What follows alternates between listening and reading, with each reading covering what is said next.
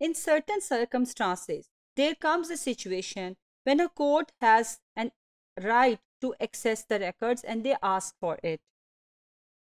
Despite privilege and confidentiality policies, however, certainly some courts uh, or the legitimates may still seek access to the privileged information as well as other confidential material. क्योंकि कुछ ऐसे cases होते हैं जिसमें ये inevitable हो जाता है कि उन इंफॉर्मेशन को एक्सेस किया जाए the mental health professional must certainly respect the appropriate request which is being coming from the court so उनको इग्नोर नहीं किया जा सकता। Some practitioners assume that their working notes fall outside the realm of the material subject to disclose in the court. यानी जैसे मैंने आपसे mention किया कि साइकोथेरेपी में एक तो मेडिकल रिकॉर्ड होता है, जिसके अंदर सिम्टम्स उसका डायग्नोसिस उसका ट्रीटमेंट प्लान दिया होता है, लेकिन कुछ उसके पर्सनल नोट्स होते हैं। तो यूजुअली साइकोथेरेपिस्ट ये ज्यूम करते हैं कि वो पर्सनल नोट्स जो हैं वो कोर्ट उनसे नहीं मांग सकता और वो आ, उनको लेना उनका राइट right नहीं है। They may feel stern when a condition demanding that they appear in a court and they have to bring with them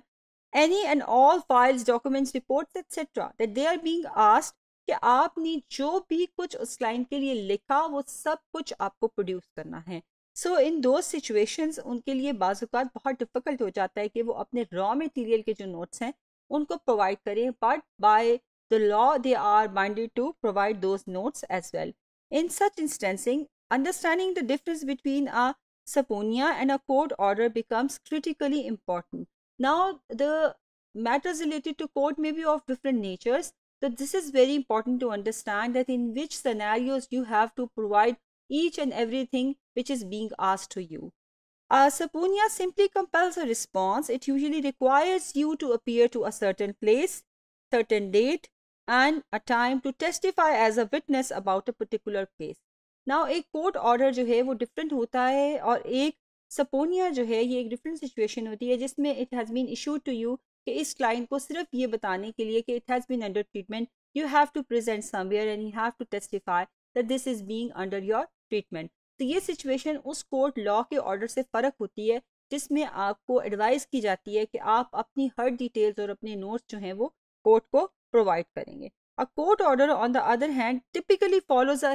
before a जज now it's a different situation इसमें एक जज के सामने प्रेजेंट होना होता है and you are compel to disclose until appeal for a highest court तो इस सिचुएशन में प्रॉपर जो है वो सुप्रीम कोर्ट हाई कोर्ट और ये सारी चीज़ें जो हैं वो इन्वॉल्व होती हैं और वहाँ पर आपको प्रॉपर अपनी जो भी आपसे चीज़ें मांगी गई होती हैं वो आपको प्रोवाइड करनी होती हैं।